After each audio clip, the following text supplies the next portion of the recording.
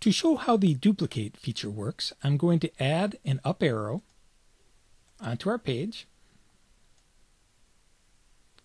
and go into Edit, Duplicate. This brings up our duplicate dialog box. We want the number of copies, 1. The placement of our copy will be at x-axis 0.2 of an inch, y-axis 0.2 of an inch. These are zeros, and the start color is blue 9, end color is blue 9. Clicking OK shows us that we made one copy.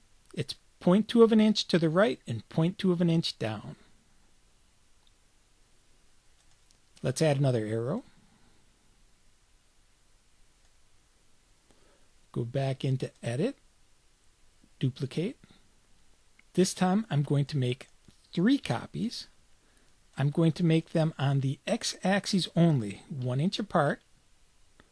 So the y-axis I want zero, angle zero, we'll leave these zero, and we're going to change the start color to white and the end color to black.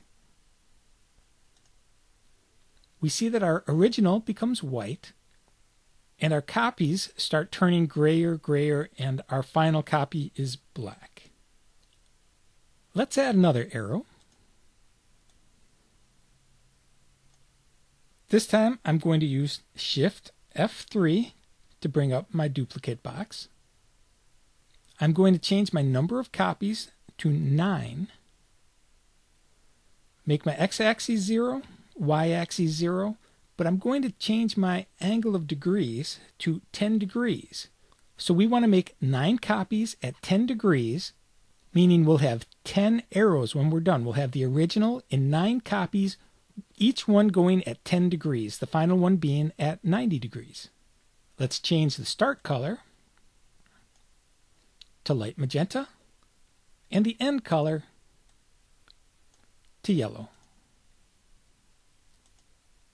And here we see that we start with the light magenta pointing up and our final arrow being yellow pointing 90 degrees to the left.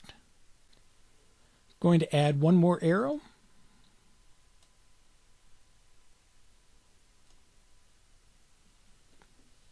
Holding down shift, hitting F3, brings up my duplicate dialog box. This time let's make them larger. Let's make them one inch. And I'm also going to change my placement to 0.25. So it'll be a quarter inch to the right and a quarter inch down. Instead of angling at 10 degrees, let's change this to 350 degrees. 360 is a complete circle.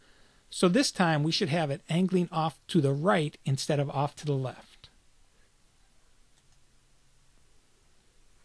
And we see the original stays the original size, but all the copies have grown by one inch in size. There's one more thing I want to mention is, and we'll just place one more arrow out there, holding down Shift F3 to bring up our dialog box. We've got this little eyedropper here. And what this does, it says values from selection. This will take our values from the selection. We see that this one here was our blue 9. If I click this, it will make our start value blue 9, which is the color of the original box. And that's to help you out to get your start color, the color that's already out there. I'm going to insert a new slide. I'm going to add an up arrow that is smaller and pointing up. We're also going to make this one light magenta. And we're going to end with a right arrow that is larger and pointing to the right. And we're going to make that color yellow. And we want to make these slowly get bigger and bigger and bigger and change color till they reach this yellow final arrow. So I'm going to select both, go into Edit, Crossfading, and we'll have 12 increments is good and leave them both checked. Clicking OK. We see that it is getting bigger and bigger and changing color. So it starts with the light magenta, ends with the yellow pointing to the right. And when we click off this, we'll notice that this is actually a group. If we go back to our other page, when we made the duplicates, these are not grouped. So if we want all these arrows to be a group, I would need to select all these arrows. And you might have to select it a little bit wide to make sure you get them all in. Go into Modify, Group. Now when I select, I've got my group.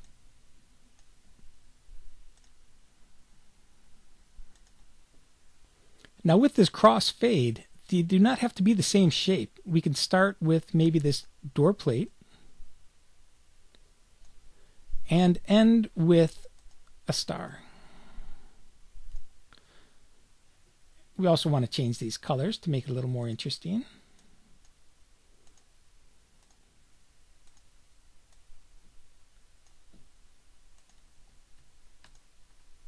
Going back into edit, crossfade, and we can make this a larger, smaller number. And if we take off this crossfade attributes, we see that they're always red until the very last one. So let's undo that.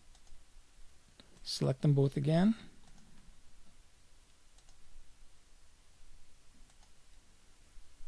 Put that back in and click OK. So it starts with the door plate and we can see it fade into this star. And because this is a group, if you do want one of these in between, you just have to go up to the Modify, Ungroup. Now I can select one and pull it out.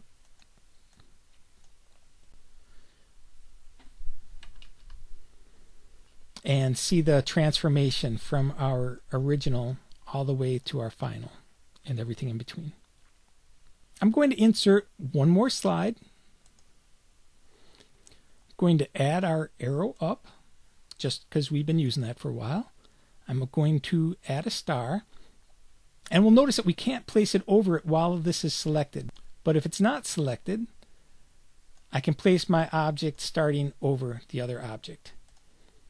And if we select these both and go into modify, combine, we see that it now becomes one shape and where they're crossed over the filled becomes unfilled and the unfilled becomes filled. So if I add this ring,